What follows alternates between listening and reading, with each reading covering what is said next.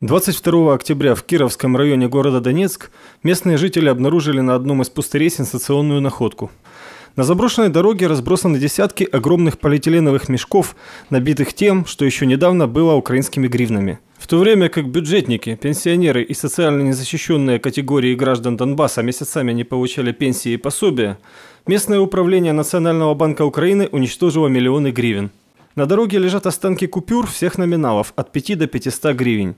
Как назвать этот поступок иначе, чем преступлением против стариков и детей народа Донбасса? Эта находка лишь в очередной раз доказывает, что вопреки заявлениям украинских властей о неусыпной заботе о населении Донбасса, в действительности Украина нисколько не заинтересована в обеспечении нормального существования людей на территориях, которые украинское правительство все еще называет своими.